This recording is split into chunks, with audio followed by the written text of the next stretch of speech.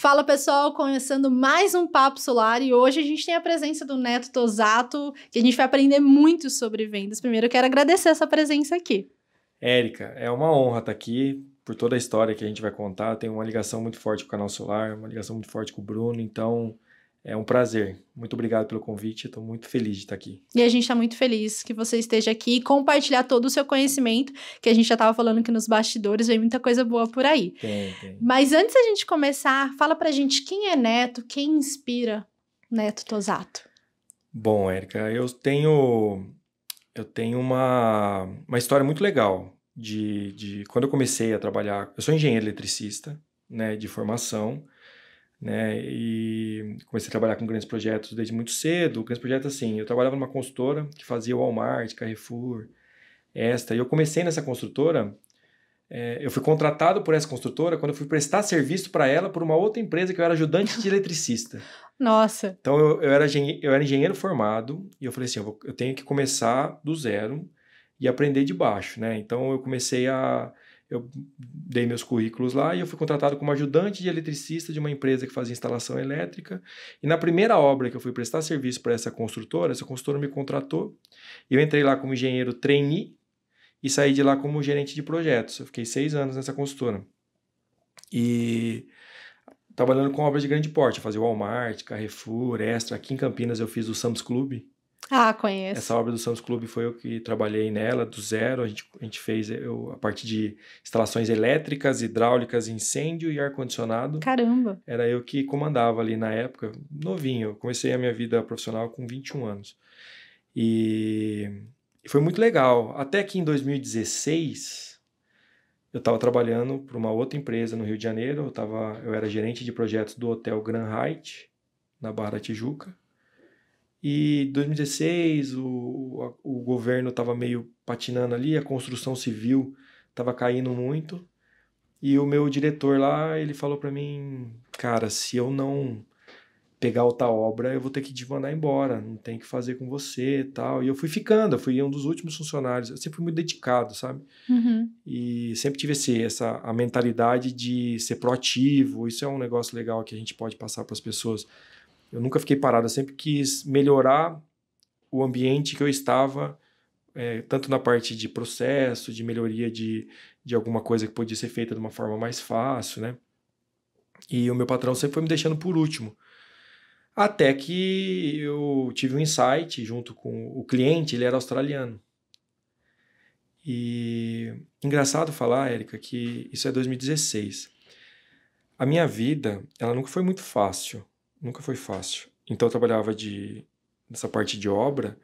Para quem trabalha em obra sabe que é de segunda a segunda. Horário, das 7 feriado. às 8 da 7 às 8, 8 da noite é cedo para você sair da obra. Quando você sai 8 da noite, você sai com a consciência pesada.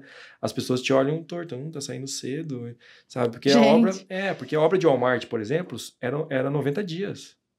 É muito rápido como o processo. É que você, é, como tem é que você, como você sai cedo? Porque tem à noite está acontecendo uma instalação de alguma coisa que você tem que acompanhar. E alguns trabalhos são realizados à noite são, também, né? São, porque é, não, não é 24 horas de obra, mas vai até o pessoal finalizar algum serviço específico, sabe? Então tem dia que você tinha que ficar até tarde mesmo na obra. Então nunca foi fácil, sempre fui muito. Sempre trabalhei muitas horas, né? E até nessa época que eu estava na, na, no Rio de Janeiro, eu estava com uma fase da minha vida muito difícil, sabe? Eu tava, eu ganhava pouco pro Rio de Janeiro, então eu não conseguia guardar dinheiro. É, morava de aluguel numa casa que eu não gostava, porque eu namorava uma menina e ela queria que eu morasse perto dela. E para quem conhece o Rio de Janeiro, é, eu morava na Tijuca. Tijuca é onde fica o estádio do Maracanã. Uhum. E eu trabalhava na Barra da Tijuca. Para eu ir da Tijuca na Barra da Tijuca, era duas horas de carro para ir e duas para voltar. Eu tinha que subir um alto lá da Boa Vista. Meu pai. É, então, e eu morava num lugar porque ela queria que eu morasse ali perto dela, só que a minha qualidade de vida era horrível. Eu morava num apartamento do tamanho desse cômodo aqui, era não tinha janela, é, ganhava pouco, eu estava infeliz, sofria assédio moral, sabe? O meu é, o, o, não, não era o meu diretorzão, mas eu tinha um gerente lá que ele, ele era um cara meio difícil, um cara 10, assim, como pessoa tal, mas na gestão ali ele era um cara meio difícil, ficava cobrando muito desnecessário ali, sabe? Então eu tava muito infeliz, endividado. Tava Cenário bem complicado, bem né, complicado, Neto? para não falar um palavrão aqui, sabe? E até que o cliente dessa obra, Érica, ele era um australiano, ele é um australiano, Mr. Ewan Thompson. E ele chegou para mim, ele me chamava de Ivo, que era mais fácil para ele falar do que Neto. ele falou: Ô Ivo, por que, que você não vai para Austrália? Eu fazer o que na Austrália, Mr. Ewan? Ele falou: vai para Austrália oxigenar tua cabeça. Aqui daqui a pouco você vai ser dispensado. Você, tem, você é casado? Eu falei, não. Eu, tava, eu tinha acabado de terminar meu relacionamento, eu tava solteiro. Eu falei, você tem filho? Eu falei, não. Eu falei, então, você não tem um passarinho para dar água? Vai para Austrália. Eu falei, quer saber? Comecei a pesquisar. Intercâmbio. Eu tava com 32 anos. Você quer perguntar a idade? Intercâmbio, eu tava com 32 anos. E eu pesquisei intercâmbio, busquei, busquei umas escolas de intercâmbio e tal. Tinha uma escola no Rio de Janeiro, legal, que era especialista em Austrália. Fui lá, vi lá que o negócio não era tão caro, que tinha um financiamento no Santander, que você que eu conseguia bancar o estudo financiado. Fiz o financiamento lá no nome da minha mãe, que eu estava endividado. Eu tinha um carro aqui, eu dei o carro para ela, falei: "Mãe, ó, fica com esse carro aqui, vende Garantia. ele, pega a grana para você, banca o o carro é a troca do estudo. Então fica com o carro e você me paga o estudo lá, a parcela no seu nome. Fui para Austrália, fui morar em Melbourne e eu voltei a ser estudante, Érica. Eu fui estudar inglês. Não falava nada de inglês. Cheguei lá, escola de intercâmbio de inglês, tinha japonês, chinês, coreano, colombiano, chileno, colom é, colombiano na, na minha sala. Aula de inglês. Acordava cedo e ia para escola, mochilinha e tal, 32 anos e e aprender inglês, não falava nada, comecei do básico lá. Teve um dia que eu morava numa numa quando você muda para Austrália, no meu pacote de intercâmbio eu tinha uma casa de família que eu morava lá no primeiro mês para eu ter tempo para conhecer alguém e achar alguma acomodação, alguma acomodação. E eu tinha que pegar um trem, né, dessa casa até o terminal, que o terminal era na frente da escola. Eu fui para fui para a escola, na volta, o meu terminal, meu o meu trem saía toda vez da mesma plataforma. Nesse um dia mudou a plataforma e ficava avisando na, na caixa de Não. som, mas eu não sabia inglês. Eu fiquei umas três horas lá sentado esperando o trem chegar e o trem não chegava. O trem estava na plataforma do lado ali Nossa, eu não via, sabe? gente. Isso que é a dificuldade de você de você não falar a língua, né? Perdi algumas oportunidades. E no primeira sema- na primeira semana que eu cheguei, eu coloquei currículo para trabalhar em obra. Já tinha experiência. É, não como pedreiro. Não como ajudante de pedreiro. E eu fui trabalhar como ajudante de pedreiro. Então eu montei um currículo lá. Lá tem um site na Austrália que chama Gumtree. É tipo um Mercado Livre, que Tá. tem tudo. Só que lá tem emprego também nesse site.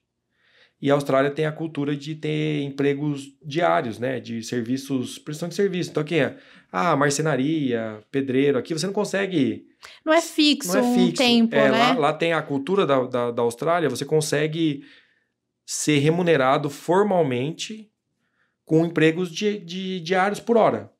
Né? Então eu trabalhava por hora. E como eu tinha experiência com construção civil, eu falei assim: eu vou colocar meu currículo na construção civil. Mas eu nunca tinha imaginado que eu ia voltar, que eu ia voltar não, que eu nunca tinha trabalhado de pedreiro ali, braçal, mas com 32 anos eu gerente de projeto, trabalhava no escritório bem vestido, ar-condicionado, você nunca imagina que você vai ser pedreiro, né? Ser Bater um de pedreiro, cimento, uma bater areia. um concreto, carregar concreto, quebrar concreto na marreta. E eu fiz isso por um bom tempo. Era o emprego que mais pagava. E primeira, primeira semana fui baldear concreto para um cara, segunda semana fui trabalhar de jardineiro para plantar, um, plantar umas flores lá. E eu fui, é, a gente chama de subemprego, né? O, o, a família brasileira na Austrália, ela é muito forte. Quando você via, quando você mora fora, os brasileiros eles são muito mais unidos do que no Brasil mesmo.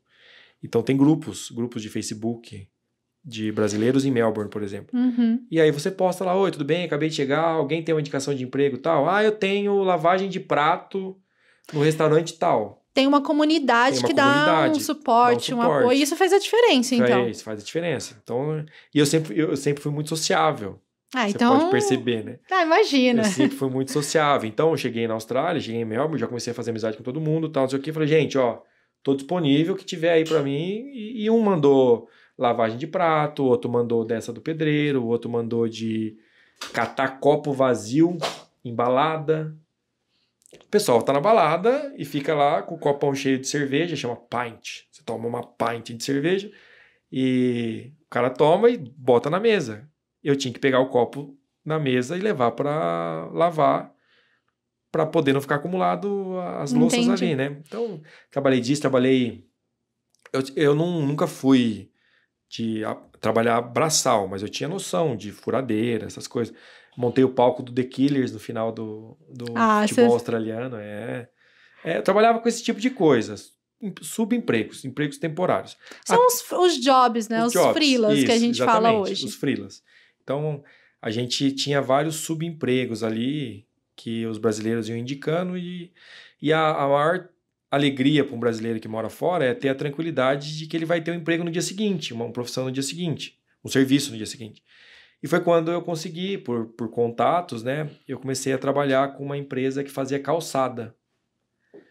Era uma empresa de construção civil que era especialista em fazer calçada. E o Mr. Frank era o dono da empresa. A família dele, ele era australiano, mas a família dele era uma família de italianos tal. E ele tinha um contrato com a prefeitura do bairro, porque lá cada bairro tem uma subprefeitura que, que, que ah, é, Como se fosse um distrito, um né? distrito, exatamente. E, e a responsável pela garantia da qualidade da calçada era da, do- desse, dessa subprefeitura. Então ele, um ele tinha um contrato com um bairro específico lá que ele fazia todas as calçadas.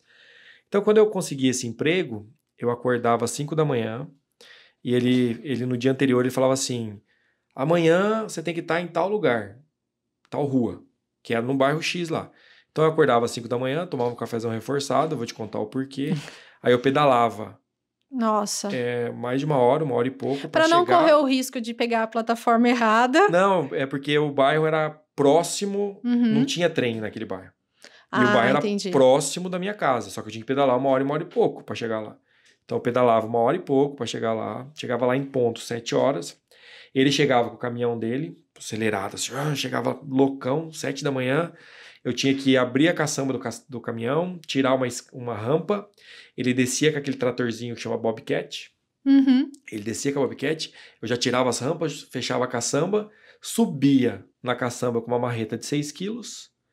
E o tempo que ele quebrava a calçada e jogava a calçada inteira assim, do tamanho dessa mesa assim a calçada. Ele vinha aqui, que. pegava a calçada assim, jogava para dentro por cima do caminhão.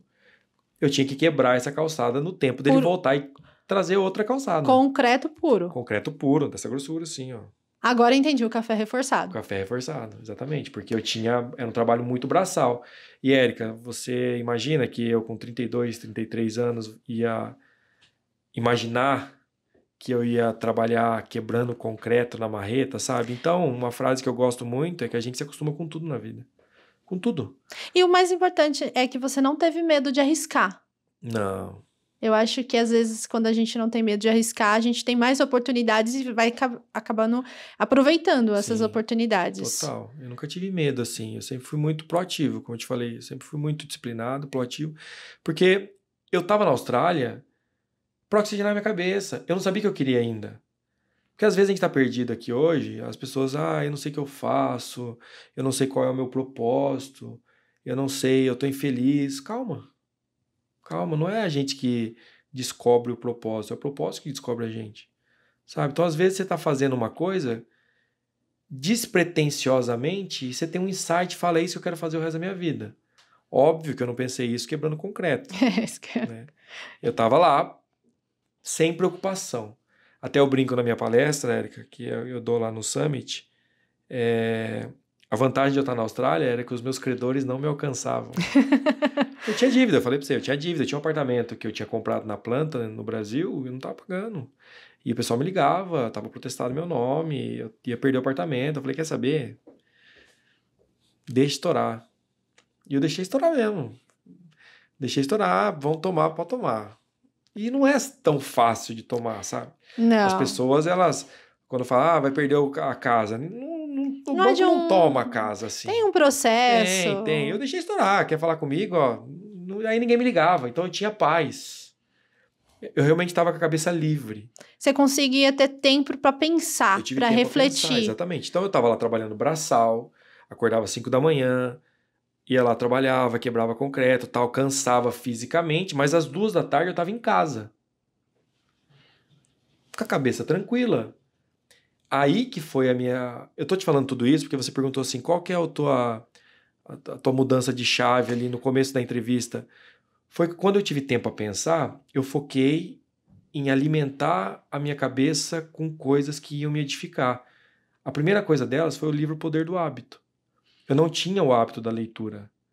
E eu comecei a ler O Poder do Hábito. Com esse livro, eu conquistei hábitos saudáveis. Um deles foi o hábito de leitura.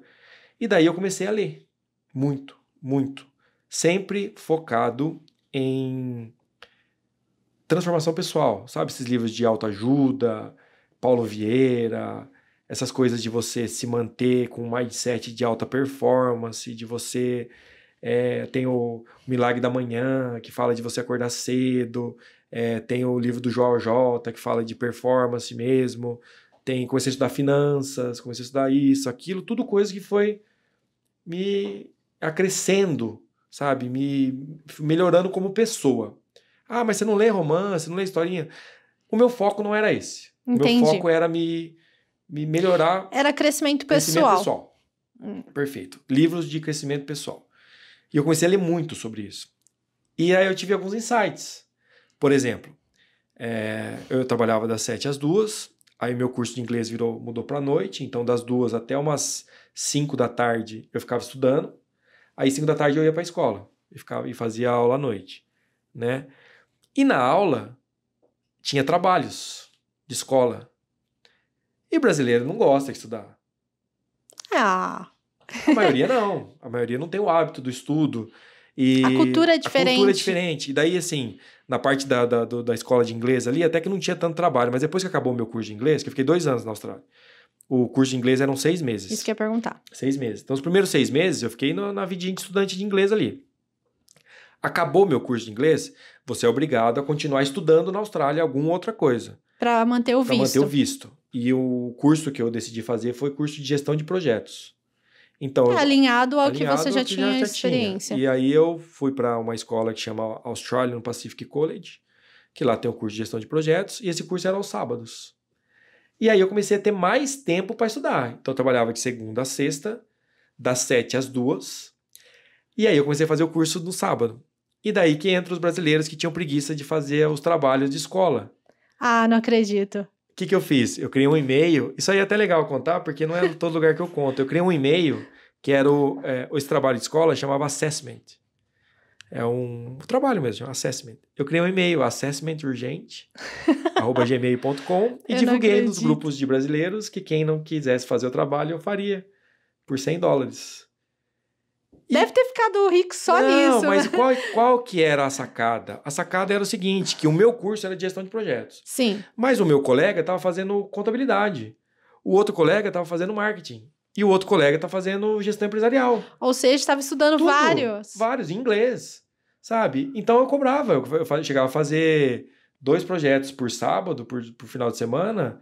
Dava 200 dólares que eu ganhava ali no final de semana fazendo o trabalho dos outros. E ainda agregava E ainda conhecimento. agregava conhecimento. Sempre focado nisso, em agregar conhecimento. Então essa foi a minha vida durante um Você período. trocou, é o que você comentou aqui em off, você trocou o ganho financeiro, lógico que dinheiro na conta é bom, É, mas mas pra- você bancar tava, lá também, é, né? e você estava pensando também em agregar conhecimento. conhecimento. Então não é só Conhecimento. simplesmente Não. visando o É financeiro. por isso que eu falo, Érica, que o que a virada de chave foi eu ter mudado essa mentalidade para eu ter uma busca por conhecimento constante. Então, quando as pessoas falam assim, ah, eu tenho 5 mil reais, o que, que eu quero investir? Conhecimento. Com 5 mil reais, você não consegue fazer mais dinheiro. Não. Sabe? Não Com, você bota um- numa poupança, não vai dar nada. Hum. Você bota em qualquer aplicação, não dá nada. Pega 5 mil reais, faz uma imersão top de uma coisa que você quer muito. Você vai agregar muito mais valor para você. Se você pega 5 mil reais, compra um monte de livro, começa a estudar, você vai agregar muito mais valor para você. E foi isso que eu fiz. Eu investi o meu dinheiro ali que eu tinha para me bancar fisicamente ali nas minhas necessidades. Não guardei dinheiro, não vim com um real do, no bolso da Austrália. Porque o meu custo Mas você conseguiu se manter, lá, manter, daí tranquilo. eu fiz a, é, eu consegui manter, eu consegui viajar. Conseguiu fazer Eu cursos. conheci, fazi- fiz curso, conheci todo o Sudeste Asiático, conheci Tailândia, Vietnã, Camboja, Malásia, Indonésia, China, fui para China duas vezes. A gente vai chegar nisso. Então, esse, essa, esse mindset que foi a virada de chave. Lembrando que isso aí foi 2016, 2017. E isso é engraçado você falar, porque foi uma época bem complicada aqui no Foi, país, né? Foi. E Mas, foi exatamente é, você. Eu não sofri nada você aqui, não sofreu nada. Eu não lembro disso. Eu lembro do, da, da. Dilma, do impeachment da Dilma. Eu tava lá, tal, mas eu não acompanhei nada, não sei, não sei que novela que passava, não sei nada do Brasil. 2016, 2017 eu tenho um branco de Brasil. Não tem nada. E o legal, Érica, que nessa época que eu tava na Austrália, no final do ano eu vim passar o Réveillon com a minha família. E eu conheci uma menina aqui no Brasil, no, no Réveillon. E ela me fez uma pergunta que fez eu mudar a minha, a minha cabeça também. Ela, é, eu conheci ela e a gente ficou se falando por telefone na Austrália, né? Eu não, t- não tava namorando ela ainda, mas eu tive, man- mantinha contato. E ela me fez uma pergunta que fez eu, eu refletir. Ela falou assim: Você não tem vontade de criar seus filhos perto dos seus pais? Aí eu comecei a pensar que eu tava na Austrália, só para você chegar na Austrália, mais de 30 horas de voo. De Isso voo. era em 2017 já. 2017. Mais de duas horas de voo. E eu pensei, pô, se meu pai falecer, se minha mãe falecer, eu não chego nem a tempo para ir no velório, porque tem várias conexões. Para quem não sabe, se eu for para Austrália do Brasil, eu não viajo olhando o mapa mundo, eu não viajo para direita. Não, né? Você viaja para esquerda. Exato. Então você vai Brasil, Chile, Chile, Nova Zelândia, Nova Zelândia, Melbourne. Então eu demorava uns, uns dois dias para chegar na Austrália. E eu não chegaria a tempo, se caso acontecesse alguma coisa com a minha família. E essa pergunta, com a cabeça livre, ela ficou aqui. E eu trabalhava de pedreiro, na calçada, aí eu olhava para o telhado da casa, energia solar. Aí eu ia na casa do lado, energia solar. E olhava lá, energia solar. Aí eu cheguei meu patrão e falei, que negócio é esse? Ele falou, aqui na Austrália todas as casas têm energia solar. A Austrália é referência, É. realmente. No... Aí minha cabeça fez assim, puf. Eu sou engenheiro, eletricista, dei um Google, 2017, 2016 ali, 17, mercado fotovoltaico no Brasil começando, a, regula- a atualização da 687, 2015 ali, muito recente, vi que a instalação, entrei no site da ANEL, vi que tinha muito poucas instalações no Brasil Bem pouca. mercado começando, falei, quer saber? Eu vou focar nisso aqui.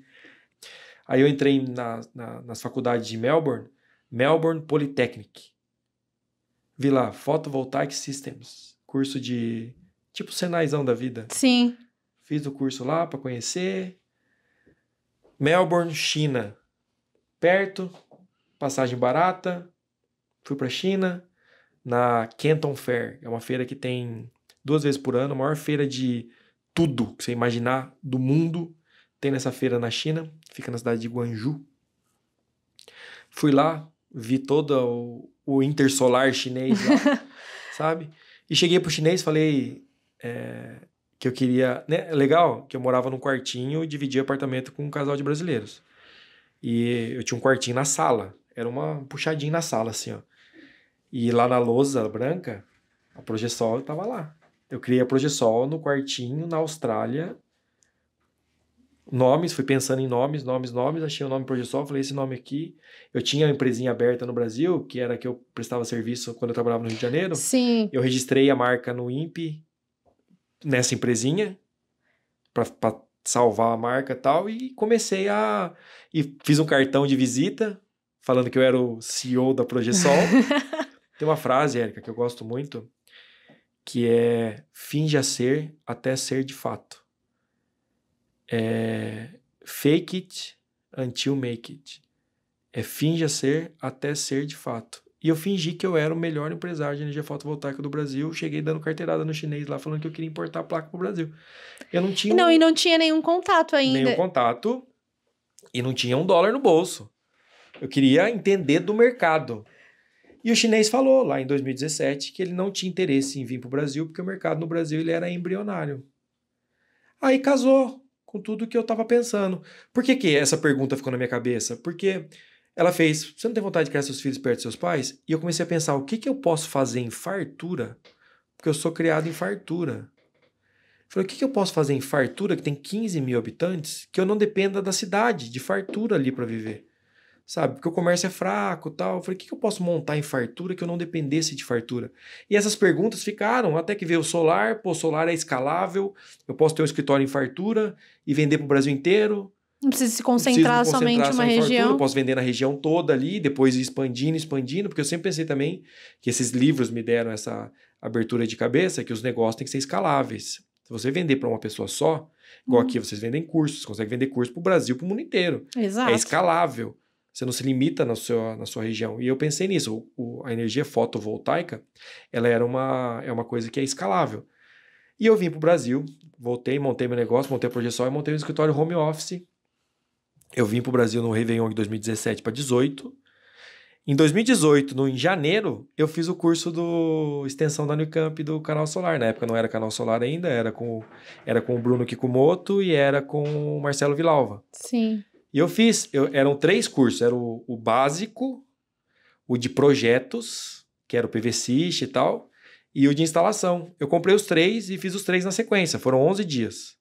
Isso foi já em março? Janeiro. Janeiro, janeiro. de 2018. Não tinha aberto a projeção ainda, estava em trâmite ah, de abrir certo. ainda a empresa assim.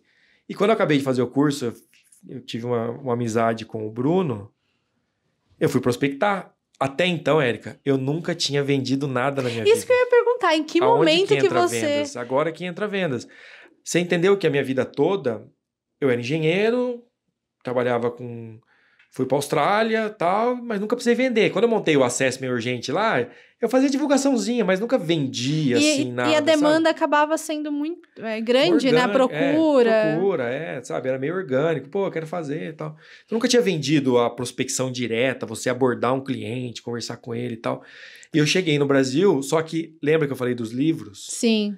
Os livros me deram todo esse embasamento, que eu sabia que eu tinha que focar em vendas sabia que eu tinha que focar em gestão de Até vendas. porque você era projeção, você exatamente, tinha que vender exatamente. e fazer tudo acontecer. E uma frase legal, outra frase, eu sou muito de frases assim, uma frase legal, na época que eu estava na Austrália, eu acompanhei muito o conteúdo do Érico Rocha. O Érico Rocha fala da fórmula de lançamento, que é coisa de marketing digital, não é o que eu, eu nunca foquei em marketing digital. Agora que eu estou mais, é, mais é, assíduo aqui na, nas redes sociais, mas eu nunca tinha tido isso, sabe? Só que um dia eu assisti numa entrevista do Érico Rocha, ele contou uma história de um. Né, porque a pessoa fala assim: ah, se eu vou montar a empresa de energia solar, se não der certo, eu volto a ser funcionário da empresa que eu trabalhava. Ah, eu vou montar uma coisa assim, se não der certo, eu volto a ser a tal coisa eu vou trabalhar com isso, se não der certo, eu volto a trabalhar com aquilo. Quando a pessoa coloca um se. Eu não gosto muito desse é, não. Então, quando você coloca um plano B, o plano A não dá certo. Eu gosto do quando. Do quando, é boa. Quando, quando eu chegar quando. lá. Mas quando... você tem que ter essa mentalidade de não ter o plano B. E o Érico Rocha contou uma história que tinha um exército que ia guerrear com outro exército. Imagina o filme 300. Ah, já era imaginei, era, na verdade. Era 300 contra 30 mil. Certo. Só que aqueles 300, eles eram preparados mentalmente porque eles iam, que eles iam ganhar. Então era todo mundo a rua, a rua, vamos ganhar. Mas imagina um 300 desmotivados. Ai. Aí tinha lá o comandante lá, esqueci o nome dele, que ele ficou sabendo que estava todo mundo desmotivado. E eles iam guerrear contra os 30 mil lá. Meu Deus. E daí ele chegou, o pessoal falou: O que aconteceu, pessoal? que vocês estão desmotivados? Não, a gente vai perder, nós somos só 300 contra 30 mil. Daí o cara falou assim: Não, vamos lá que a gente só vai conversar. e foram marchando, isso era com o Rocha contando, e cruzaram uma ponte. Quando passou essa ponte, que só tinha essa ponte, o comandante foi lá e tocou fogo na ponte. Agora falou assim: ou vocês vencem, ou vocês morrem. Porque voltar não tem não como. Não tem plano B. E isso ficou na minha cabeça. A Progesol, ela vai dar certo. Ah, mas e se? Não tem se. Ela vai dar certo. Isso ficou, vai dar certo. Mas, Neto, E se o financeiro, eu vou dar um jeito, vai dar certo, vai dar certo, vai dar certo. Eu tinha sempre essa mentalidade de vai dar certo, de não ter plano B. E comecei a Progesol. A minha primeira proposta, Érica, você vai dar risada. Era a proposta número 21, 021, 2018, porque eu fiquei com vergonha de colocar a proposta 01. E eu nasci no dia 21 de agosto, leonino. E eu falei que a minha proposta ia ser 021. E a minha proposta foi para um cliente lá de Fartura, que era um cara referência na cidade, um cara grande, que tinha uma confecção, um cara que eu sabia que tinha dinheiro, tinha um poder aquisitivo. É um cara que morava na rua da minha casa, conhecia minha família, conhecia minha índole, conhecia, sabia que eu não ia dar o cano nele. Ele conhecia minha vida como engenheiro de obras, porque a gente frequentava churrascos, de família, e ele tava uhum. lá e ele falava, ele via, pô, você tá com uma obra tal, do Walmart.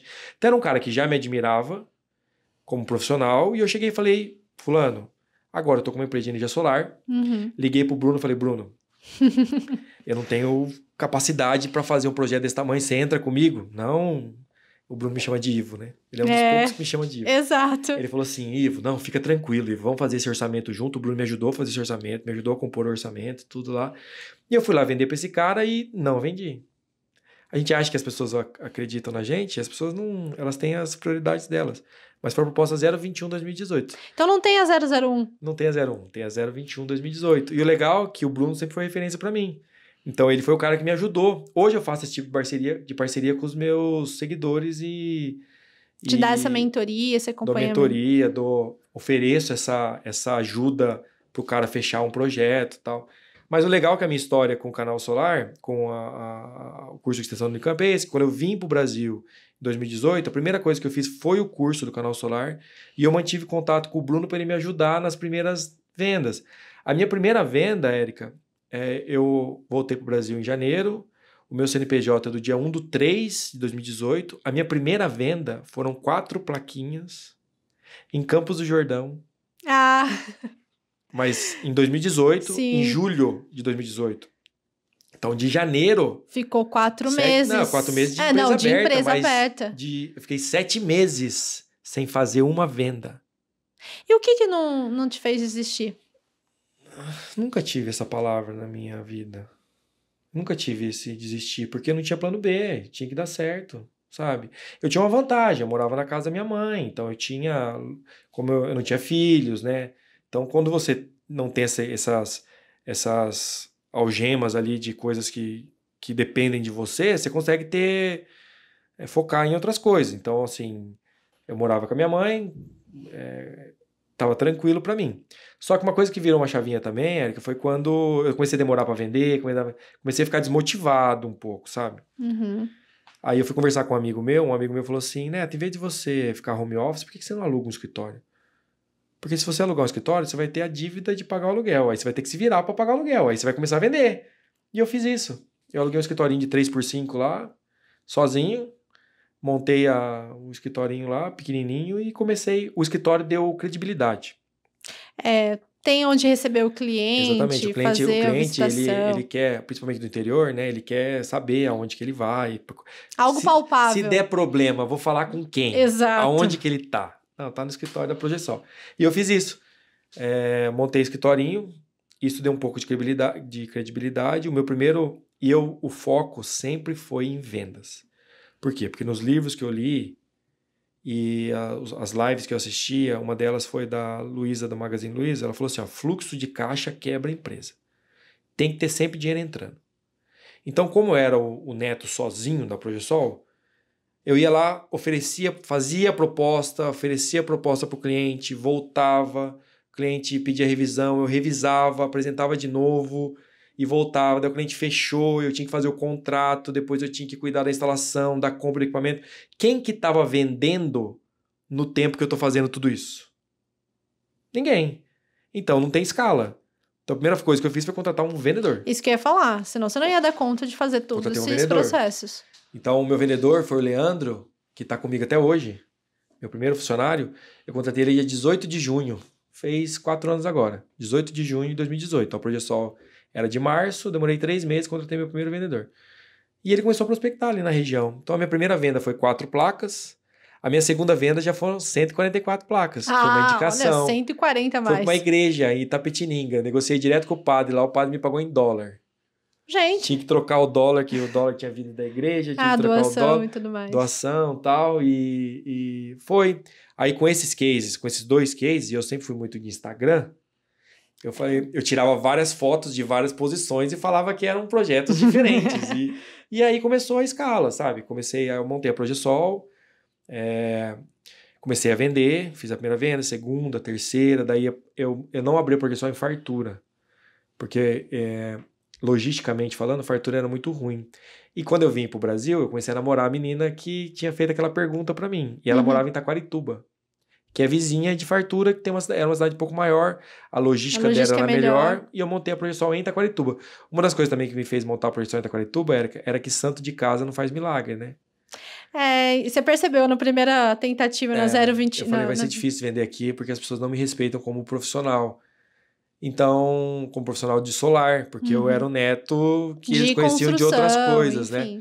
E eu, demon... e eu mudei, mudei assim, eu montei a empresa em Taquarituba, dava para eu ir de carro todo dia de fartura em Taquarituba, e aí eu era o neto da Progesol em Taquarituba, né? Você começou a fazer seu nome Comecei ali. a fazer meu nome ali.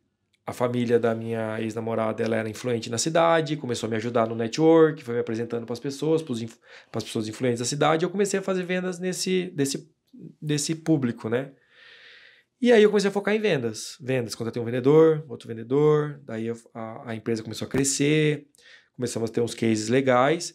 E um cara que trabalhou comigo no Rio de Janeiro, chama Eduardo Vasques, era um jovem senhor, tinha uns 50 e poucos anos, ele falou, quero me aposentar e eu quero mudar para Botucatu e eu quero abrir uma Progesol. Eu falei, mas a Progesol é minha, como vou abrir uma Progesol? Não, pensa num jeito aí que eu vou abrir uma Progesol. E eu fiz uma parceria comercial com ele, coloquei ele no... Abri um CNPJ novo, coloquei ele no contrato social desse CNPJ e eu tenho uma sociedade com ele na loja de Botucatu. Aí um tio meu, ah, quero abrir uma Progesol, vamos abrir em Piracicaba. Aí um primo meu, quero abrir uma Progesol, vamos abrir em Santa Cruz. E foi. Gente, Aí a Progesol tem 11 lojas hoje. 11 lojas? Temos 11 lojas. E tem umas coisas, umas novidades que estão para acontecer que ainda não posso falar. Ah. Mas Mas vai falar depois pra gente. no off. Tá As ótimo. coisas acontecem no off. E tem umas coisas legais estão para acontecer. Então essas, essas lojas, elas começaram a performar. E a gente fazia reuniões semanais, cobrando o time e dando treinamento, e o negócio foi indo, foi indo. E eu sempre fui muito focado em treinamento de vendas. Sempre fui muito focado em treinamento de vendas. Eu sempre fui muito comunicativo. Tenho muita facilidade para conversar. E eu sempre usei isso como é uma coisa que eu falo muito nas minhas lives, que a gente que trabalha muito com o público em rede social, a gente tem que criar algumas coisas para ficar na cabeça das pessoas. E eu criei um negócio que chama 3 Cs. O que, que, é os, que, que são os 3 Cs? É um vendedor imbatível, ele tem que ter 3 Cs, que é a boa comunicação, ele ser confiante e ele ter conhecimento técnico. Então, eu sempre tive uma boa comunicação. Sim. Conhecimento técnico, eu adquiri fazendo todos os cursos possíveis e imagináveis que tinha na época, em 2018, Sobre, sobre energia solar. Então eu fiz do canal solar, fiz aqui do, da Unicamp, eu fiz todas, todos que tudo que tinha na época em 2018, que não tinha muita coisa em 2018, eu fiz. Então eu me empoderei de conhecimento técnico, uma boa comunicação, e eu comecei a estudar sobre posicionamento com relação ao cliente, né? Que é esse o diferencial. Que a gente fala muito de vendas agora, falando um pouco de indo já pro, pro assunto vendas. O que o vendedor hoje o que eu mais escuto nas minhas redes sociais, que eu recebo de direct, é vendedor que não consegue vender. Aí só de você conversar com o cara, você vê que a comunicação não verbal dele, que é a postura que ele tem em relação ao cliente, já é uma, uma postura perdida. O vendedor, Vai ter um impacto ele já negativo. chega no cliente com a venda perdida. Ele já chega desacreditado, ele já coloca objeções na própria cabeça, falando assim: ah, esse projeto é muito grande para mim, é, esse cliente não vai fechar comigo. É, ah, tem um concorrente aqui que eu sei que o nosso preço é mais caro que o dele. Ele já chega mentalmente pensando, sabe? Falou: ah, ah, esse cara é muito chato. O vendedor fala: esse cliente é muito chato, sabe? Sendo que quando você tem o propósito de ajudar as pessoas, porque a objeção, Érica, nada mais é do que dúvidas que o cliente tem. As pessoas, os vendedores confundem objeção com rejeição. Tem nada a ver. Existem quatro etapas no meio de uma venda. Tem a objeção, a negociação, perguntas e rejeição. Quando o vendedor consegue diferenciar qual que é, qual que é a em que etapa que está da conversa, ele mata o assunto. Agora, se ele se perder nas etapas se ele se perder e nas etapas. Então, assim, o categorizar... cliente às vezes faz uma pergunta assim, nossa, por que, que esse equipamento é tão caro? É uma pergunta, não é uma objeção. É uma pergunta.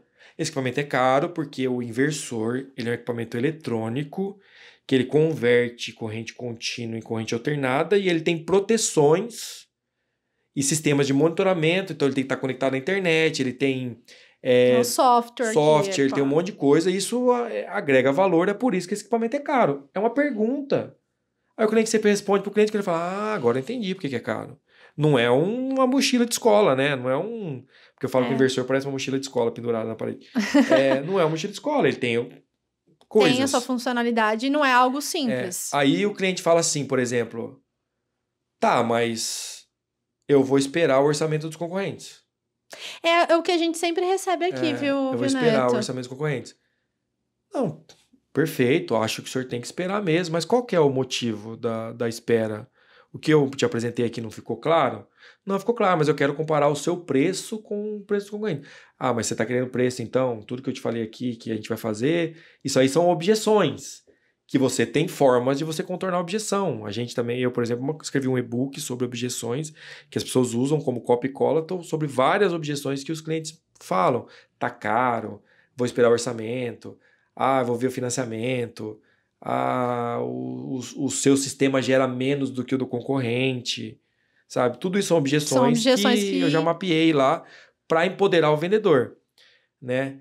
Então isso aqui é objeção. Objeção é dúvida. Você contorna a objeção. O cliente fez uma E aí entra o C do conhecimento técnico. Tem, Se tem você não ter. tiver conhecimento, você não vai conseguir responder as dúvidas. Aí o vendedor fala assim: ah, mas eu tô começando agora, eu não tenho conhecimento técnico ainda. Traz o engenheiro junto. Faz o que você fez com o Bruno. Faz o que eu fiz com o Bruno, faz parceria, traz o engenheiro junto. Sabe? Que daí você é bom de comunicação. Você é uma pessoa confiante, tem a postura, conversa legal. Quando o cliente faz uma pergunta técnica, você fala aqui, ó, meu amigo responde. Você joga a bola pro cara, Perfeito. entendeu? Mais conhecimento técnico era, Érica, com o tempo, você adquire. Você não vai precisar mais do engenheiro depois de. Se você se focar em estudar, você não vai precisar do engenheiro. Isso aí é só por um período de. Até você aprender. É a muleta que você vai ter ali até você aprender. Então vamos lá, a objeção é uma outra etapa da conversa. Então tem a pergunta, tem a objeção. Aí o cliente fala assim: Ah, eu gostei de você, gostei do teu orçamento, mas não dá pra gente mexer nesse preço? Isso já é negociação. Você já superou as duas etapas de pergunta e objeção. Você já está negociando. Daí você fala: o que, que fica bom para você aqui? Ah, eu queria chegar num valor aqui de 20 mil e o seu tá 22. Cara, mas por que, que você quer 20 mil? Da onde que você tá tirando isso aqui? Ah, porque o seu concorrente tem 20 mil. Me mostra as propostas então. Que aí você consegue fazer um comparativo. Aí, de repente, o, o outro vendedor ofereceu geração menor. Exatamente. Daí você vai, me mostra as propostas. Então, a partir do momento que você conquistou o cliente, que eu vou falar disso um pouquinho mais na frente sobre você se conectar com o cliente, fazer conexão, você, o cliente já quer fechar com você. Gostei de você, Neto. Eu quero fechar com você, mas você tá mais caro. O que, que dá pra gente fazer? Isso aí é negociação. Então me traz as propostas. Gostou de mim? Vai fechar comigo? Vamos fechar. Pode ficar tranquilo que você tá fechado já com a Progesol. Mas vamos chegar aqui na, no orçamento aqui, ó. Ó, o cara aqui tá te oferecendo potência menor que a minha. E vamos lá, ó. A forma da geração é geração igual potência do sistema vezes o, HSP vezes número de dias no mês vezes coeficiente de perda. Essa fórmula aqui, ela é para mim e ela é para o concorrente. Ela é universal. Ela é universal. Vamos fazer a conta aqui, ó. A minha geração aqui, ó. Geração, tá, tá, tá, tá, tá, tá, deu 1.800 kWh mês. A do cara tá dando 1.500. Neto, isso pra mim tá sendo assim, e pra muita gente tá assistindo aqui, maravilhoso, porque você mostra. Mostro. Tem muitos é, vendedores, e aí não fa- falo de sistema de energia solar, que só vende o produto, É. mas não deixa o cliente saber, entender o Sim, produto. A gente dá uma aula pro cliente, entendeu? A gente ensina ele a calcular junto, na mão, no, no papel ali. Vamos fazer a conta junto aqui, ó. A fórmula de geração é essa aqui, geração. Olha a minha fórmula. Olha quanto que dá. Olha a forma do concorrente. Olha quanto que dá. Você quer que eu chegue no preço dele? Não tem problema. Eu tiro as placas aqui do meu sistema, eu vou. É a geração ser É, igual só que a geração sua não vai ser suficiente. Você quer, daqui a três meses, você me ligar e falar assim, ô Neto, eu preciso colocar mais placa ou você quer fazer o que eu tô te falando que vai, que vai dar certo? Ah, não, eu quero fazer o que eu tô falando. Então você quer pagar os 22 mil mesmo? Vamos, então aí fecha, entendeu? É um exemplo, é isso que a gente faz. Mas você entendeu que a etapa que eu tô é negociação. Negociação. Negociação, aí o pessoal fala assim: ah, não dá desconto. Muito vendedor fala assim, é, muito palestrante de vendas fala assim: desconto o seu vendedor dá porque você deixa. Se você falar assim que é proibido dar desconto na tua empresa, seu vendedor não vai dar. Eu já gosto de dar desconto, Érica. Só que eu dou desconto aonde? Atrelado ao fechamento da venda. Então o cliente chegou. Quero fechar com você, mas você tá mais caro. Beleza, vamos comparar aqui. Tal. Tá comparando igual? Banana com banana aqui? Tamo. Mesma coisa. Beleza, quanto tá o meu preço aí? Ah, seu preço tá 22. Do concorrente tá quanto? 21. É justo. Estamos orçando mesmos equipamentos, Tá, e tá entregando a mesma entregando a mesma geração. coisa, a mesma geração. A empresa também é idônea. Também tem que ver se os equipamentos são. Tudo, a gente olha tudo. A gente tem uma- um checklist lá que a gente mapeia tudo na frente do concorrente. Vamos ver isso aqui, vamos ver isso aqui. Tá tudo igual? Pô, qualidade de inversor, qualidade de placa, string box, tá tudo certinho? Tá. O meu tá mais caro, realmente. Se eu fizer por 21, você vai fechar comigo agora? Vou. Aí eu vou, Neto. Então aperta minha eu mão. vou. Você entendeu?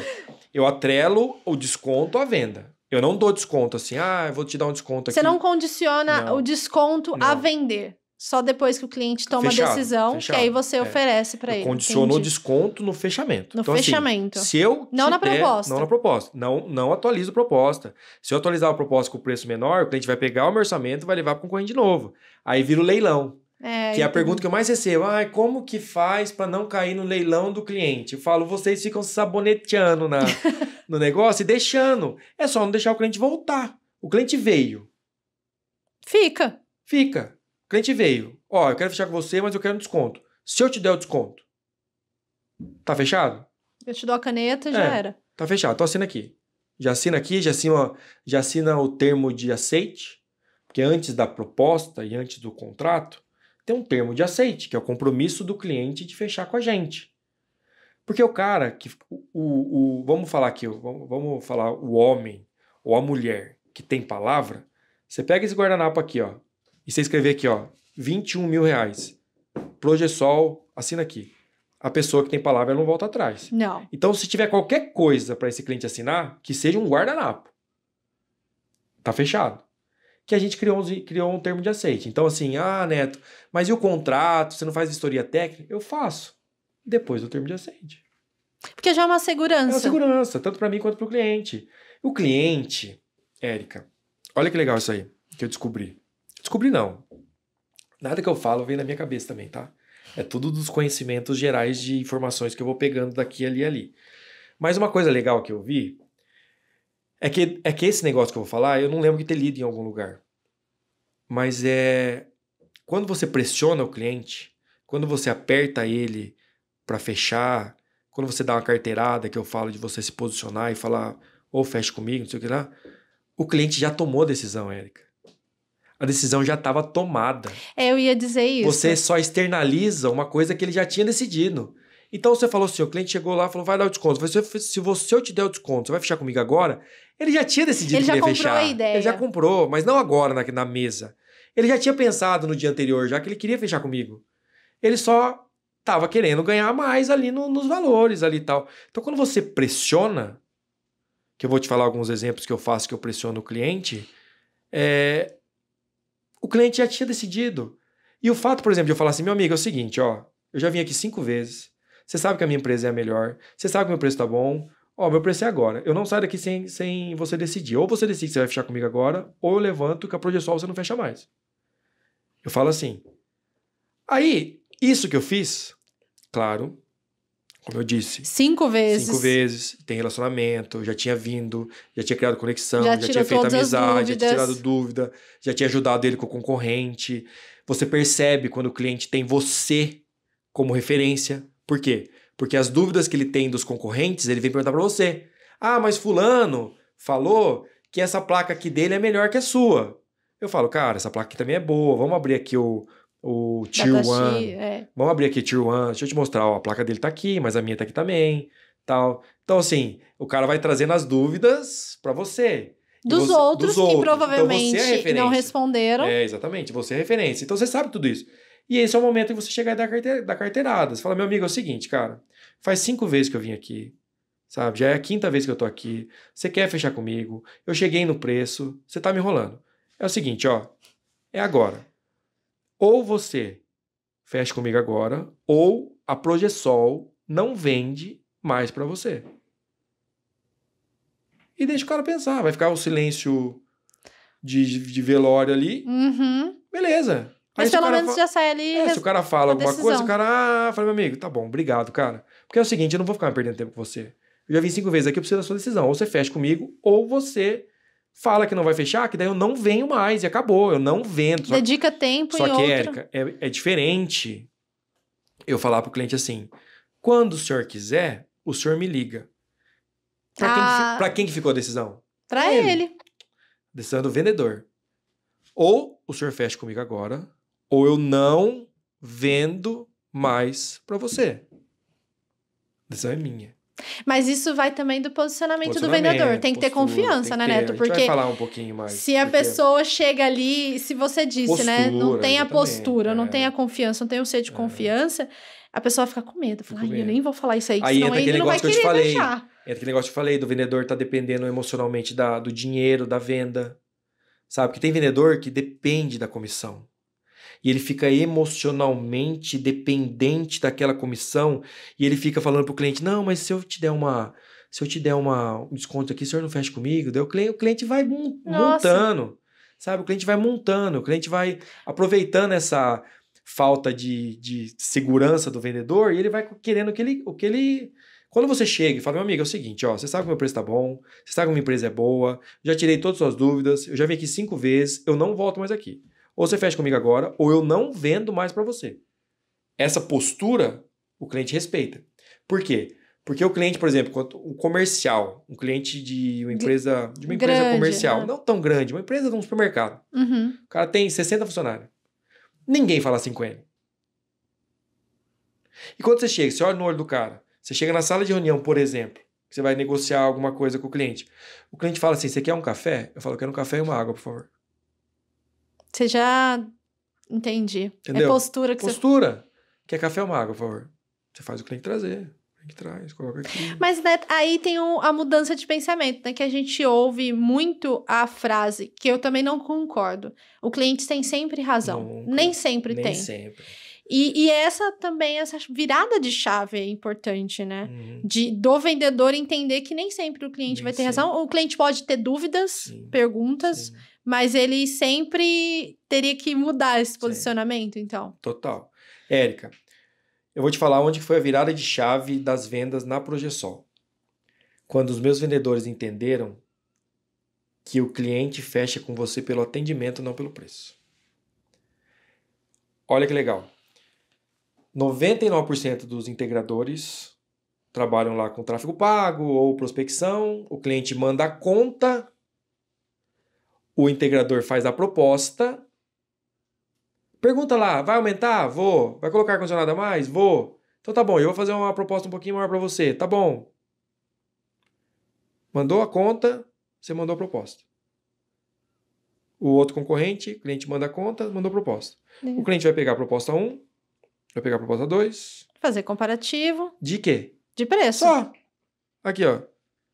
Ah, tá. Ah, tá. Esse aqui tá mais barato. Vou fechar com esse cara aqui. Onde que foi o diferencial? Quando a gente fala assim de diferencial, que a sua empresa tem que ter um diferencial. O que que é o diferencial? É o con- É isso aqui, ó. Caiu o tráfego, caiu o lead lá no tráfego pago, caiu uma, um cliente na, no WhatsApp, Uhum. a foto do cliente. Aqui no WhatsApp. Sim.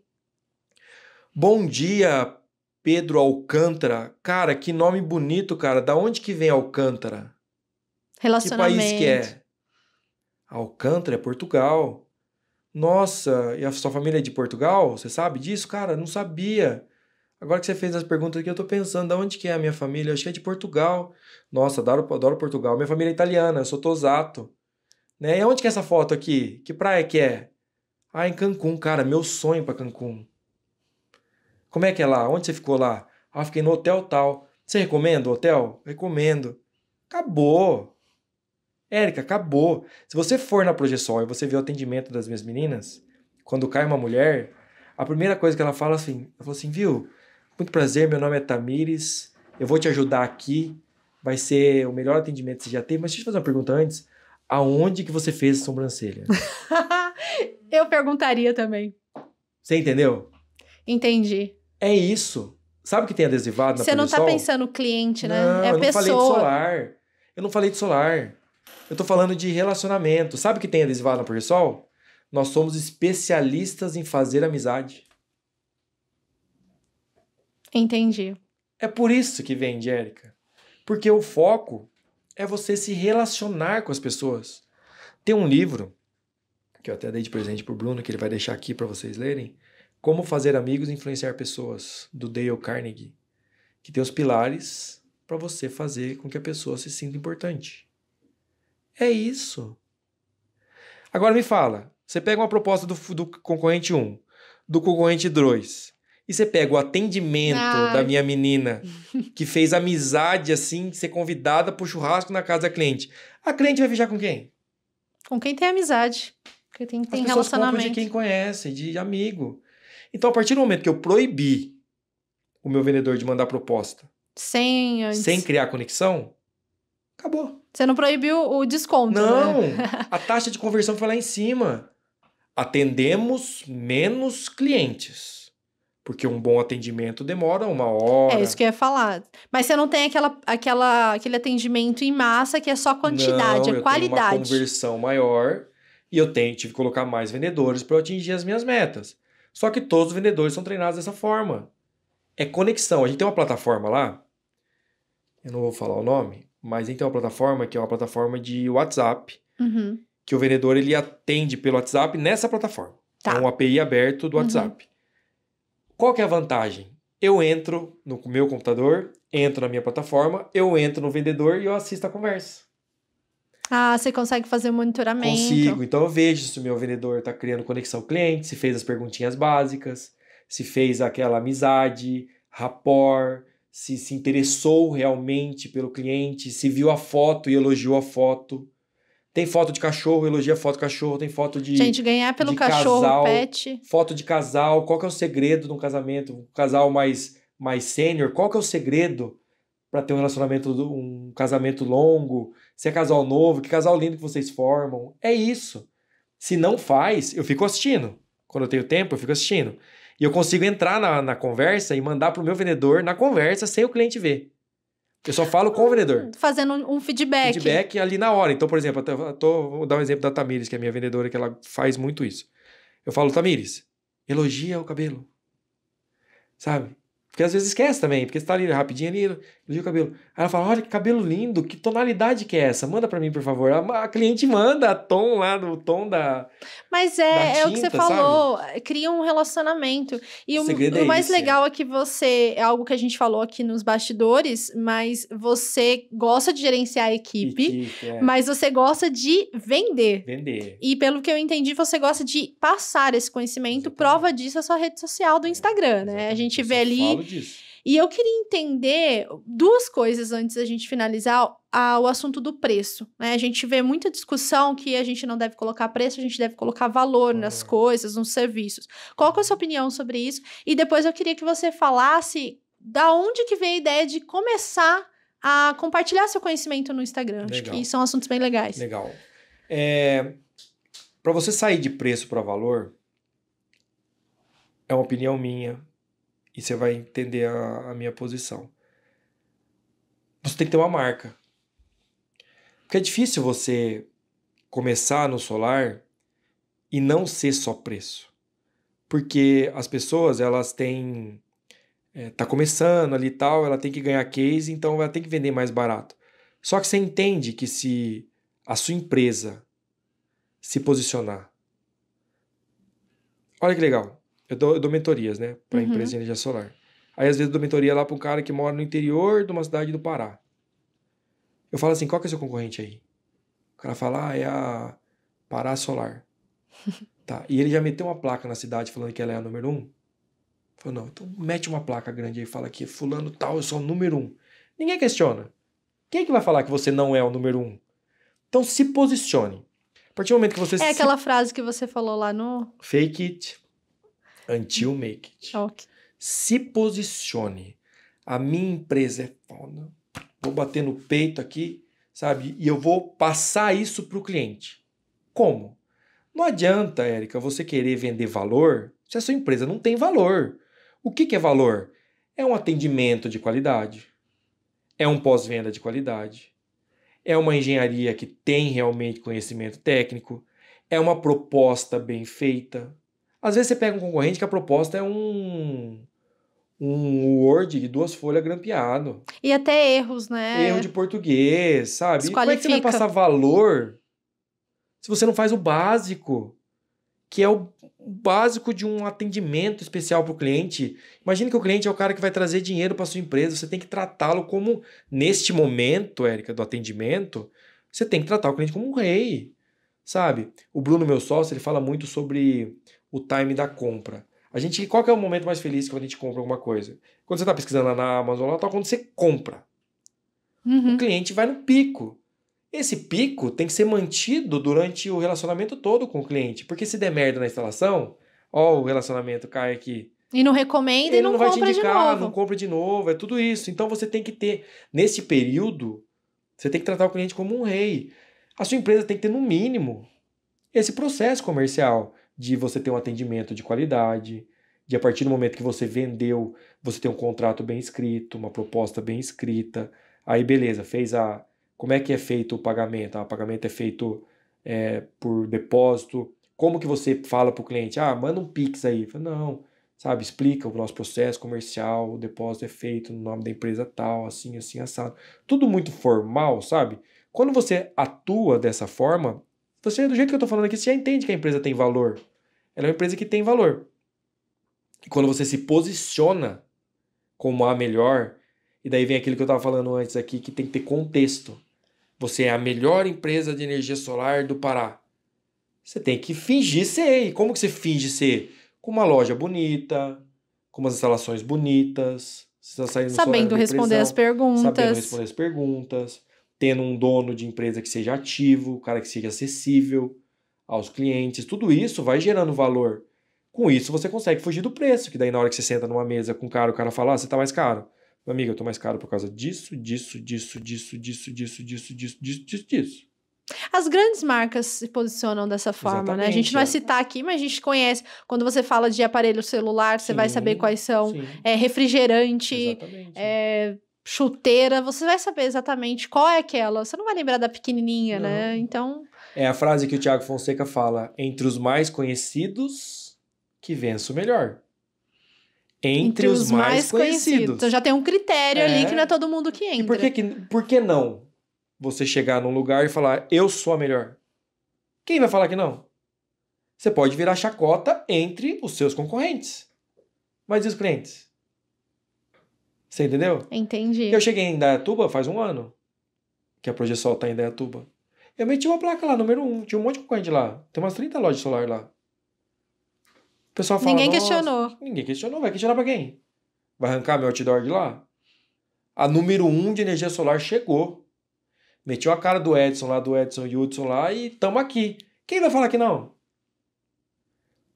Isso é, é o empoderamento da marca. Posicionamento. Posicionamento. Daí entra redes sociais. É, a gente que trabalha muito com redes sociais sabe que o que dá resultado é a constância, Exato. sabe? É a constância. Conteúdo também tem que, não Conteúdo, tem que ser algo. constante. Aí você pega um Instagram do integrador, que você vê que o último post dele foi em fevereiro. Qual que é o valor que ele está gerando para o cliente? Hoje tem um post da Projeção falando, é vantagem instalar energia solar no inverno? Eu estou educando o meu cliente. Entendeu? Hoje, Senão, hoje tem um post. E todo dia tem um post. Eu, no meu, nas minhas redes sociais, cara, todo dia tem dois posts. Sim. sabe? E você faz o post no feed, né? feed, Então, ali, pra quem é. não conhece, a linha do tempo, né, do Exatamente. Instagram, e também os stories. Exatamente. Que é muito legal a interação. É. E, e eu queria agora partir para a segunda pergunta, né? Legal. Da onde veio a ideia de, de ir para o Instagram, É, na verdade, passar esse conhecimento? é, eu sempre fui muito comunicativo.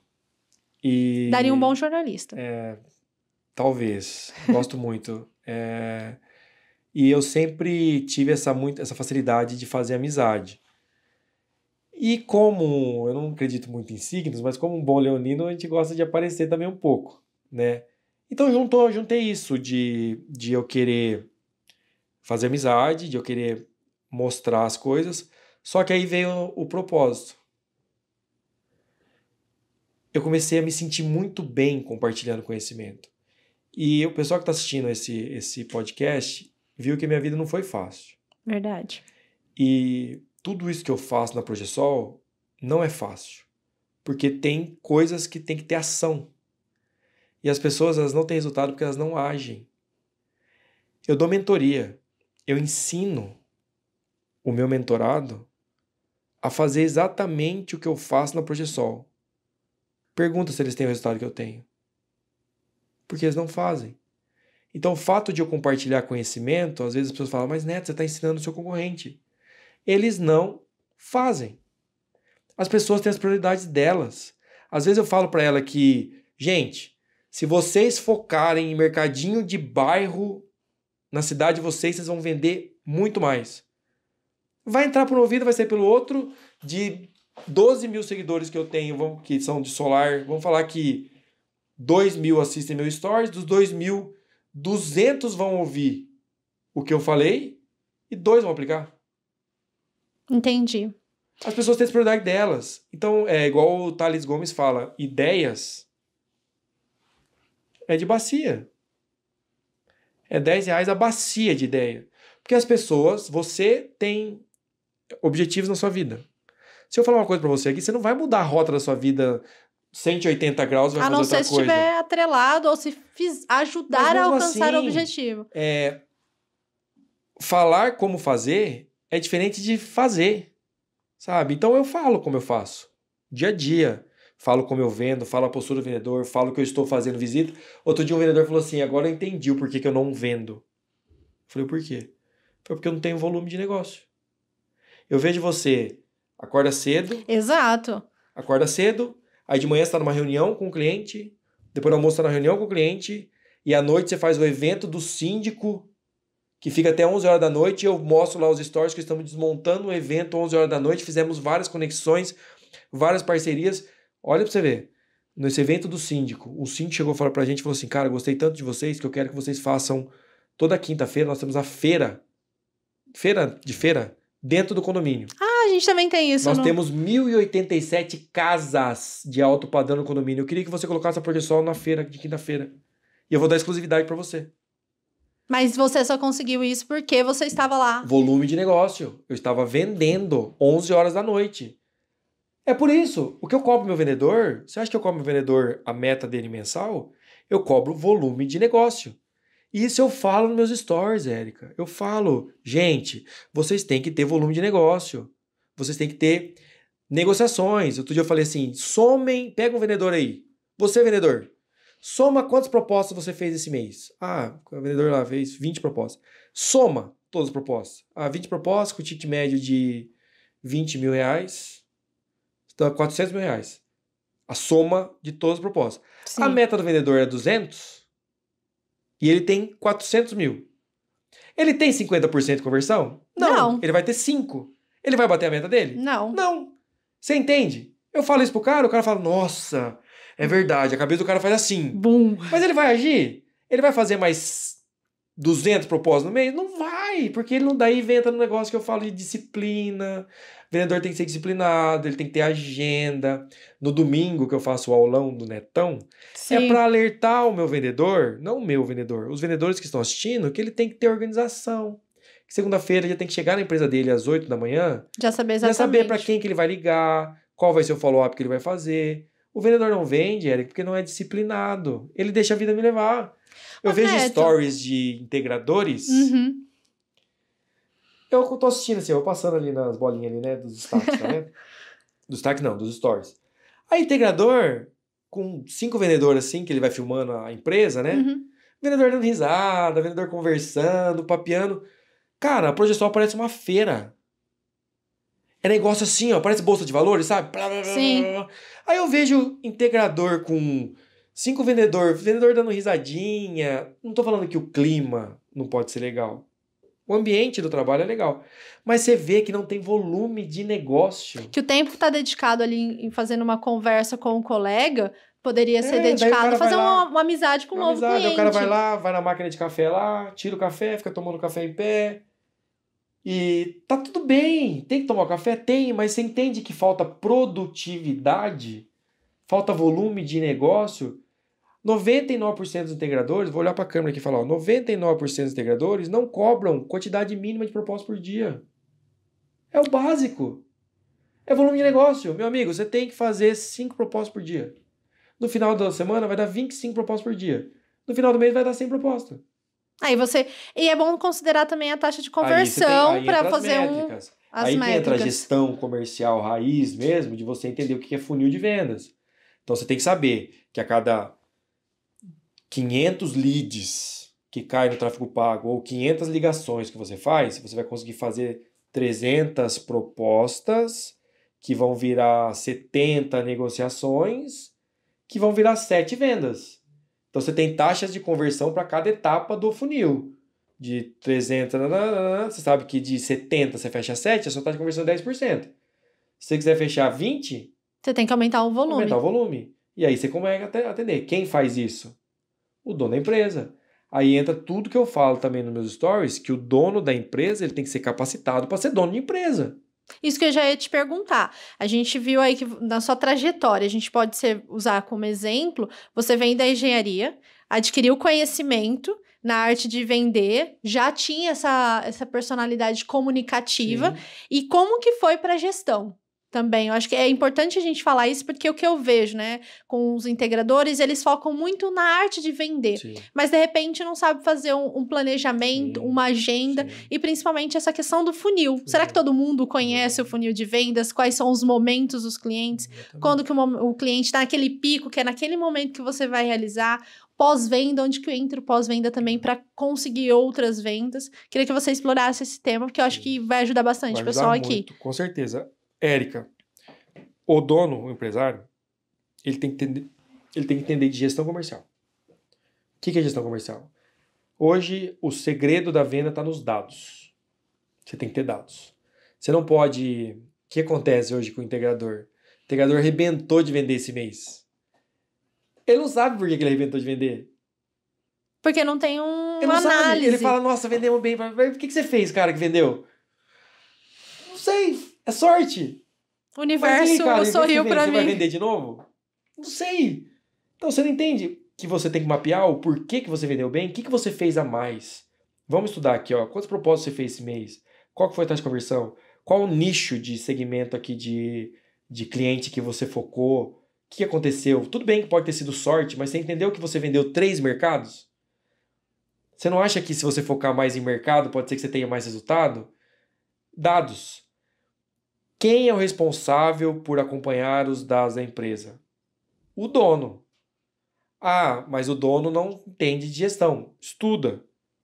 Lembra que eu falei que eu comecei do zero eu nunca tinha feito nada e eu nunca tinha vendido nada? Hoje eu sou apaixonado por gestão comercial. Então, todos os conteúdos que eu consumo, as mentorias que eu faço, os treinamentos que eu faço é focado em gestão comercial. Por quê? Para ficar claro aonde que são as métricas que eu tenho que acompanhar para eu ter resultado. E as métricas têm que estar num lugar visível. Sabe? Tem que estar num. A gestão, por todo dia eu peço pro meu time, eu quero saber qual é a quantidade de o meu vendedor faz. Então, Neto, só para a gente finalizar a parte ali de escolher o nicho e também usar os dados do mês que teve sucesso, não foi só sorte. Qual que é a importância para o gestor? Para ele qualificar e também para os próximos meses não ser questão de sorte, né? Sim. Questão de estratégia. É. Então tem que o gestor tem que estar ciente que a responsabilidade de gerir o time comercial, se ele não tem alguém que faça isso por ele, ele tem que fazer. Então no mínimo ele tem que cobrar a quantidade de propostas, saber a taxa de conversão de cada vendedor, saber quantas propostas ele faz, quantas ligações ele faz, quantas propostas ele faz, qual é a taxa de conversão, saber a, as métricas básicas ali para ele poder cobrar. Porque, por exemplo, Érica, uma pergunta aqui o vendedor, como é que você define qual é a meta da empresa, do vendedor, por exemplo?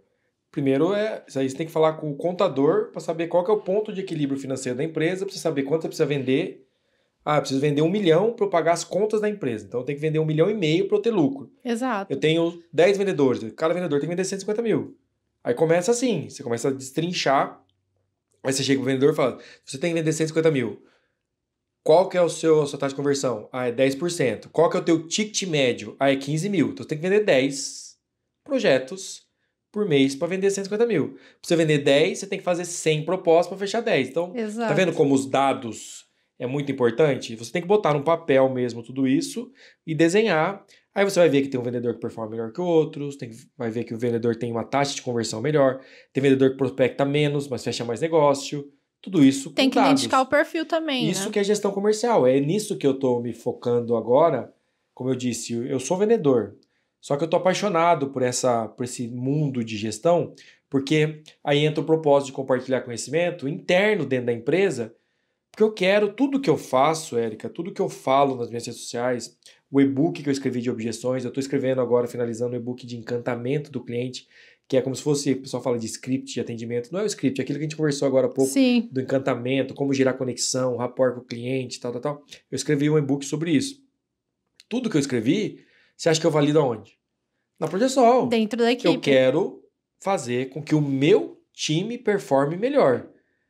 Só que eu acho um uma um desperdício eu não compartilhar isso com as pessoas, entendeu? Então, a parte de, de o propósito de compartilhar conhecimento vai nisso, de você falar para as pessoas o que precisa ser dito, as pessoas elas assimilam, elas vão virando tendo insights, isso não me muda nada, é, só agrega valor para mim porque eu recebo feedbacks, feedbacks incríveis de pessoas e eu acabo virando referência para as pessoas. E o mercado só o se fortalece. Só fortalece, né? O, o, o, o segredo tá no, na quantidade de pessoas que você impacta, sabe? Quanto mais pessoas você impactar, mais parece que, que a, as coisas vão voltando para você, sabe? Então eu, eu tenho isso como um propósito. E isso é interno na empresa também. O meu, o meu objetivo é fazer com que o meu time performe melhor. E eu compartilho isso com as pessoas. E o que, que você faz de diferencial? Né? A gente sempre busca diferenciais da empresa, né? Mas eu queria entender como que é a estrutura interna, né? Quando você vai contratar um vendedor, quais são as características que você busca nessa pessoa? Depois que ela é contratada, qual que é o processo até a primeira venda? Quantos dias, né, para a primeira venda? É, ô, Érica, eu vou falar uma coisa aqui que o pessoal fica em choque. Que na Progesol, o vendedor nosso performa com 10 dias. 10 dias. 10 dias. Isso aqui de dar ser- contratação. Isso aqui eu tenho certeza vai ser até um nugget do vídeo aqui, ó. Sabe? Porque da contratação. O que, que a gente fez? Ficou muito claro pra gente que o que faz com que o nosso time dê resultado é treinamento. né? vocês são do DNA de treinamento, vocês têm Sim. cursos.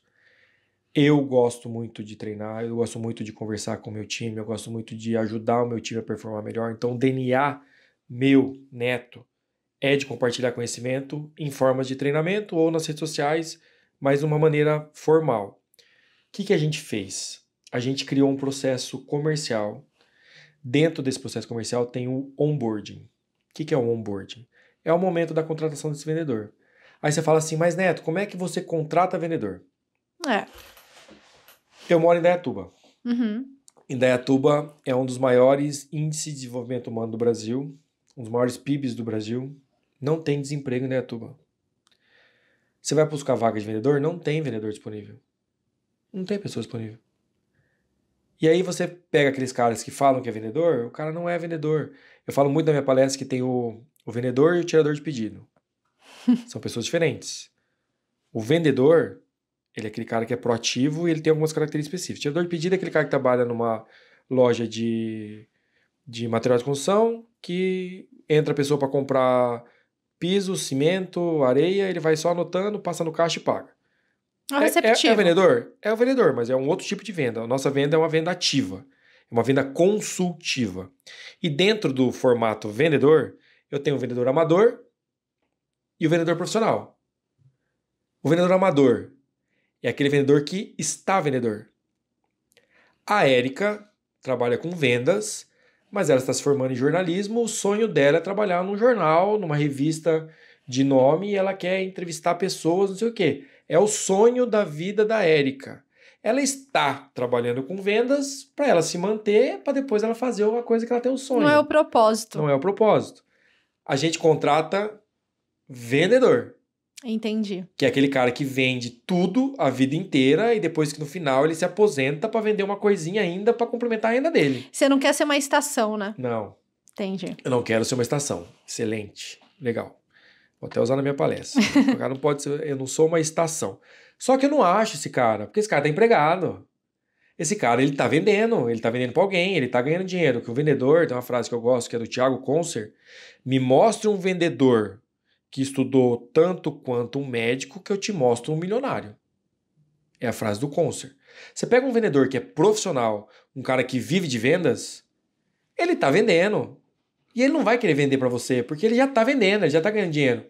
Mas Neto, como é que você faz então? Perfil. A gente descobriu uma, um, uma empresa que só contrata vendedores. É recrutamento e seleção de vendedores. E o que, que ele faz? Eles mapeiam o perfil da pessoa. Perfil de pessoa. Então eu pego lá um menininho de 20 aninhos. Ah, entendi. Ele nunca vendeu nada na vida. Mas ele. Mas ele tem o perfil. E como a Projeção tem o DNA de treinamento, eu acho a pessoa certa ah. e treino. Sabe o que eu lembrei? Ah. Pode ser bem clichê, mas algumas pessoas pode ser que tenham o mesmo pensamento do Capitão América. Essa eu não sei. Não, ah, é que eu sou meio apaixonada pela não, Marvel, mas é, eles estavam buscando um soldado. Tá. E aí tinha muitos soldados fortes, só que tinha poucos soldados com caráter. Hum. E aí foi exatamente a experiência, a força com caráter, a personalidade. Exatamente. Então, exatamente isso. Perfeito. Aí o que, que eu fiz? Você vai dar risada. Você conhece o Douglas da Solar PP? Não, ainda é, não. É uma empresa do. O Douglas é um cara legal para você entrevistar, que ele vende muito pelo WhatsApp. Ele vende 250 projetos por mês pelo WhatsApp. E ele tem um time comercial. E ele tem uma vendedora lá, uma vendedora, que vende um milhão por mês. Ela, ela vende, bate sozinha. Ela vende 50 projetos no mês.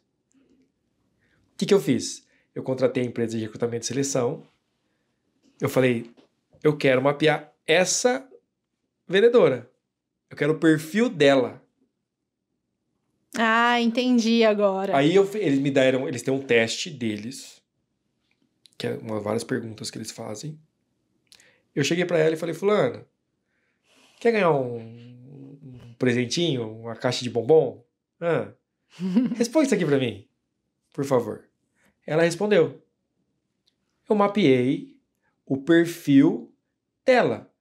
Qual que é o perfil de um vendedor bom? Comunicativo, produtivo, disciplinado, resiliente?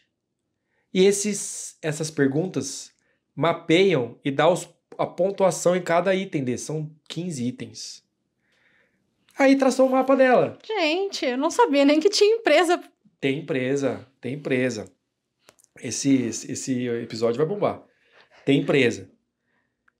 Aí que eu fiz? Eu mapeei o dela, mapeei o meu, que eu também sou vendedor. Sim. Casou uma deu uma sobreposição de, de gráficos. Uhum.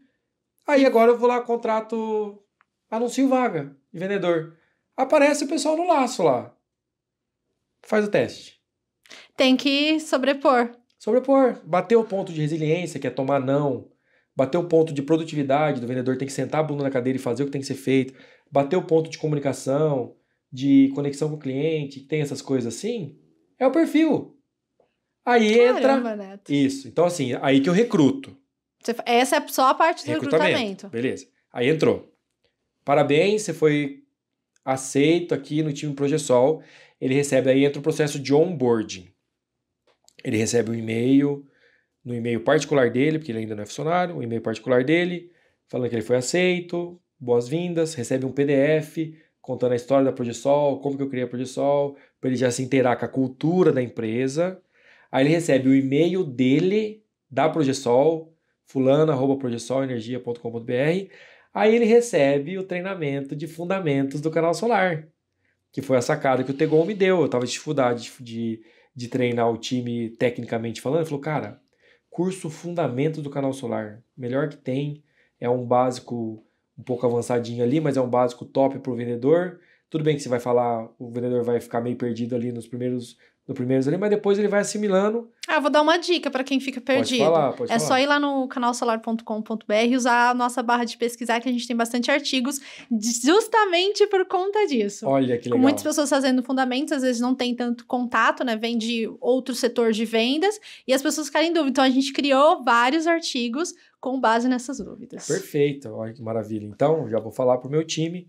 E daí o vendedor, ele entra, ele recebe a a gente compra o curso Fundamentos no nome do vendedor para sair o certificado no nome dele. Ele é obrigado a me dar esse certificado em quatro dias. Ele tem quatro dias para fazer o curso. Aonde que ele faz o curso? Home office? Não, ele não tem disciplina para estudar em casa. Ele faz o curso sentado na mesa, na empresa, como se fosse horário de trabalho. Ele está se capacitando. Entendi. Então, quatro dias. Quatro dias dedicado a investindo tempo no curso, Exatamente. no conhecimento técnico. Ponto. Acabou o curso, entregou o certificado, ele foi aprovado, ele entra para um treinamento de processo comercial. O que, que é o processo comercial? Como nós fazemos a proposta, qual a plataforma que faz a proposta, qual que é o CRM que a gente usa, se fez uma venda, qual que é o processo da venda, vistoria técnica, quem que faz a vistoria técnica, o termo de aceite, como é que assina. Isso aí são documentações Processos. e processos comerciais de como a Progesol funciona. Isso aí é o básico de como a Progesol funciona. É o processo nosso interno.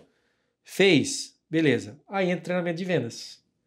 Eu tenho vários treinamentos que eu gravei internamente. Uhum. Eles assistem o treinamento de vendas.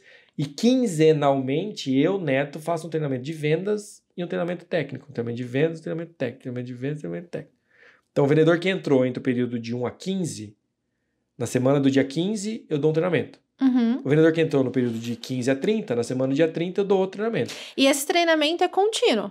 Contínuo, nivelamento de conhecimento geral. O vendedor fez, faz de novo. O Leandro Faz tá novo. lá há quatro anos. Quatro anos. E ele faz os Faz treinamentos. também agora. O Leandro, ele não era de vendas. Ah, tá. O Leandro, depois que passou um tempo, ele quis ir para a parte operacional, para cuidar de gestão de obra e tal. Uhum. Agora, no último mês, ele voltou para vendas. Então agora ele está participando desse tipo de treinamento. Entendeu? Então a gente faz isso. Então o foco nosso é no DNA. O, DNA, o no- o nosso DNA é treinamento. Quando você pega um vendedor e você dá esse suporte todo para ele, ele performa em 10 dias. O que, que eu falei anteriormente Você aqui? Que a os- responsabilidade da gestão comercial é do dono.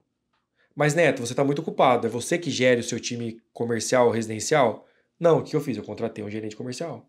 Então, eu tenho um head de vendas, que chama Bruno. Eu tirei ele no processo seletivo, é um cara super capacitado. Ele faz reuniões diárias com o time de vendas. Diárias. Entendi. Todo dia de manhã, reunião com todo mundo para saber das vendas da, do que, que tinha para fechar do dia anterior. Uhum. Porque você entende que todo dia tem reunião. Então, hoje, por exemplo, 9 da manhã, reunião com o time. Fulano, o que, que você tem para hoje? Ah, eu vou fechar com o cliente tal, com o cliente tal, com o cliente tal. Tá. Fulano, o que, que tem para hoje? Ah, eu vou fechar com o cliente tal, com o cliente tal, com o cliente tal. No dia seguinte, a primeira novo. coisa que ele faz, ele fala: Fulano, você falou que ia fechar com o cliente tal, cliente tal, cliente tal. Fechou? Não. Por quê? O que aconteceu? Ah, porque o cliente não estava lá, não sei o que, mas o que, que você fez? Tal. Isso publica, isso todo mundo Todo ouvindo, todo mundo. mundo. Se você vê que o vendedor tá, em, tá dando a saboneteada, ele fica com vergonha. Porque primeiro dia passa, segundo dia passa, terceiro dia, ele já fala: o pessoal já me pegou, eu já tô enrolando. Tô marcado. Tá marcado, já, o pessoal já tá vendo. Então, quando você faz acompanhamento diário do time, cobra quantidade mínima de proposta, cobra follow-up, cobra não sei o que, cobra as coisas que tem, de- os KPIs que a gente cobra lá, as métricas, e você tem um gestor que chega pro, pro vendedor e fala, Érica, eu vi que você tá fazendo pouca proposta, tá acontecendo alguma coisa, você precisa de ajuda, o que que eu posso fazer para te ajudar a vender mais? A vendedora, ela vai falar assim, ah, preciso de um treinamento específico sobre padrão de entrada. Toda vez que eu vou falar com o cliente, eu dou uma gaguejada, tem como a gente fazer? Aí eu- o meu gerente chega para mim e fala, né, tem como a gente criar um treinamento de padrão de entrada? Opa, vamos criar um treinamento de padrão de entrada. Tudo isso fica gravado, padronizado para virar conteúdo interno. Mas você entende que quando você tem alguém que fique ajudando o seu time a performar, performa. Sabe? Porque é o segredo é você ajudar aquela pessoa a crescer. E você falando, o que que tá faltando? O que que eu posso te ajudar? Mas esse diário, esse todo dia, essa preocupação constante em você fazer com que o seu time performe e você muni-los de informação para ele performar, é o que faz o vendedor entregar resultado. Fazer diferente, sabe? performar. E qual que é a vantagem também, Érica? Que você vê quem está enrolando. Porque a rotacionalidade de vendedor é grande. Não é todo mundo que performa bem. Só que com uma estrutura dessa, com acompanhamento desse, você já pega o cara no segundo mês. Você fala que esse cara aqui não, não vai dar. Não vai dar, porque ele não tem volume de negócio. Tinha toda... Ele não estuda, ele não faz o que tem que ser feito, você já vê, cara. Aí você começa a ficar de olho, ó, esse cara aqui não tá indo bem. Aí você começa a acompanhar as métricas dele. O cara tem que fazer cinco propostas por dia. Ele faz uma, duas, uma, duas. Aí chega o cara e fala, meu amigo, você tem que fazer cinco por dia. O que, que você faz uma, cara? Ah, ah, não sei o que. Você fala, cara, ó, semana que vem. Se você não fizer cinco, um pontinho vermelhinho aqui, na outra semana, se você não fizer cinco, você já pode saber que você vai ser dispensado. Deixa claro, né? Deixa claro, eu tô cobrando produção.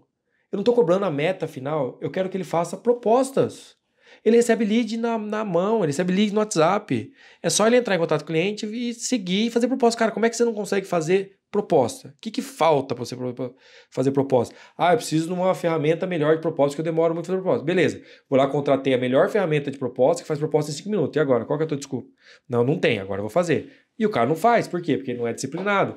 Então você, você entende quando você tem a gestão comercial na mão, você acompanhando as métricas, dados todos os dias, com um cara que fique acompanhando é, pessoalmente, vendedor por vendedor, você sabendo do problema pessoal, às vezes você está com problema na sua família, e você fala, cara, estou com problema na minha família, o, fala, o, o, gestor fala, fica tranquilo, a gente vai te ajudar, resolve lá, minha filha está doente, vai lá, cuida dela, isso é uma coisa. Sim. Quando tá tudo bem e o vendedor não performa, fica muito claro pra gente o porquê que não performa e você tira fora e contrata outro, entendeu? Ah, é, Até é. você formar um time de 15 máquinas de vendas, porque. Mas para você formar um time de 15, passou 100. É. Passa 100. Porque não é sempre as pessoas que vão identificar é, mas, e ter a personalidade que você busca. Mas o DNA é treinamento. Não, mas eu gostei, amei essa, essa a prática e eu vi que o propósito da, da Progesol justamente é praticado, praticado dentro da minha empresa. Praticado. Claro que nós temos problemas, temos problemas. Temos vendedores que nós acreditamos que vão performar e não estão performando ainda. Tem, a gente dá esse, esse voto de confiança, porque você vê o quanto esse cara está tá performando, está trabalhando para chegar na, no objetivo. A gente cobra muito tal. O clima é muito legal, a cultura interna da empresa é muito legal, sabe? Então as pessoas que entram lá, geralmente elas não querem sair da empresa. Tudo isso faz com que você consiga reter talentos. Mas quando você tem uma empresa que o DNA é o treinamento, é aí que está o resultado. Porque hoje, Érica, para finalizar aqui, você pega integrador, contrata vendedor, o integrador dá uma faca, vai dar uma faca pro cara colocar no dente, dá um celular e fala se vira. O cara nunca sentou do lado do vendedor. Nunca deu um treinamento. Quem que é o melhor vendedor de toda empresa celular? É o dono. Porque ele começou, ele que começou do zero, igual eu comecei, que fala, que fala com o cliente. O cara não senta do lado do vendedor, cara. Aí fica difícil fica até difícil, passar o conhecimento. Dá um treinamento, aí fica dependendo de treinamento de vendas que ele compra no online aí. Infelizmente, treinamento de vendas não é uma coisa receita de bolo que você replica. Tem que ter o um acompanhamento. Ah, Neto, não tenho tempo de acompanhar o vendedor. Contrata um gerente comercial. Para dar esse apoio. Ah, mas o gerente é caro, ele tem que se pagar. Ele não foi contratado para fazer o time performar? Então, ele tem que ser cobrado também. Só que isso. o gerente vai aprender sozinho? Não, você tem que sentar do lado do gerente. Exato. Tem que, que ter uma, uma participação da pessoa, do proprietário, a, a não tem como. A responsabilidade é do dono. A partir do momento que você. Quando eu converso com, com o empresário, ele fala assim: ah, porque o meu financeiro não viu isso. É a responsabilidade sua. Delegar não é delargar. Você delega a função de um gestor comercial de botar grana na tua empresa, você está delargando se você não acompanhar. E daqui a pouco não vende, você vai falar assim, pô, não vendeu, por quê? Ah, é porque o, o gestor estava com um problema particular e você não sabia. E aí não performou, e aí você ficou sem vender. E a sua empresa vai quebrar. Nossa. É, porque a responsabilidade é do dono, Érica. A responsabilidade são das... O dono, quando o dono tem o pé em duas canoas, não foca no negócio, o negócio não dá certo. Eu trouxe pessoas muito boas, muito competentes para cuidar da projeção, sabe? Mas eu fico ali, fico acompanhando, fico acompanhando o time, principalmente as métricas de comercial, porque é onde está o dinheiro. Com a empresa com dinheiro é muito mais fácil você gerir uma empresa Com sem, né? certeza, né? Mais tranquilo. É, mas o papo aqui vai longe, hein? É, então, infelizmente a gente tem um tempo não tão bom para a gente explorar tudo isso. A gente vai partir para o encerramento. Mas se você quiser que o Neto volte, é só deixar nos comentários. Quem sabe ele não volta aqui para dar mais Uhum. uma aula sobre outros aspectos de venda que a gente não abordou aqui. E Neto, infelizmente a gente tem que partir para o encerramento. E sempre na- quando eu encerro o podcast Papo Solar, eu peço para a pessoa compartilhar. Embora você já compartilhou em vários, é, várias experiências, vários cases, mas eu queria que você separasse um que fala, poxa, Érica, um é difícil, mas aquele que mais te marcou e te trouxe aqui, hoje, conversando comigo. É, quais as pessoas que passaram uma dificuldade, alguma experiência de vendas que fez você pensar uma coisa diferente, que deu um insight diferente? Olha, Érica, foram tantas, tantas histórias ali comerciais, né? Essa primeira história que eu contei da proposta 021, ela marcou muito minha vida porque esse cliente fechou comigo ano passado, né? Então, eu- o não dele fez com que eu crescesse muito, né? E depois que ele me chamou depois para negociar, depois de dois anos, que ele fez leilão comigo, sabe? Tudo que eu falei aqui, hoje que eu falo quando, de leilão, de proposta, de concorrente, foi técnicas que eu desenvolvi depois, com aprendizado mesmo no dia a dia, sabe? Então essa venda, que foi a minha primeira proposta, ela foi uma escola para mim. Eu passei por todas as etapas da minha vida eh, comercial nessa, nessa venda, sabe? E hoje tem esse cliente que tá um baita case lá na cidade de Fartura, é uma referência para mim ali, que fez a gente mudar o jeito da gente agir. Porque a mensagem que eu escrevi para ele de WhatsApp, dando um ultimato nele, falando assim: Fulano, é a última vez que eu mando a mensagem para você. Não pareço ser bom o suficiente para você tomar a sua decisão. Não entendo a demora, conhecendo toda a idoneidade e a qualidade da minha empresa. Eu já cheguei no preço que você queria e mesmo assim você não decide. O meu preço é até amanhã. Depois disso eu não vendo mais para você. Essa mensagem foi a primeira vez que eu escrevi. E esse cara não me respondia há oito dias. E na hora que eu escrevi essa mensagem, em um minuto ele me respondeu e nós fechamos o negócio. Essa mensagem foi uma virada de chave.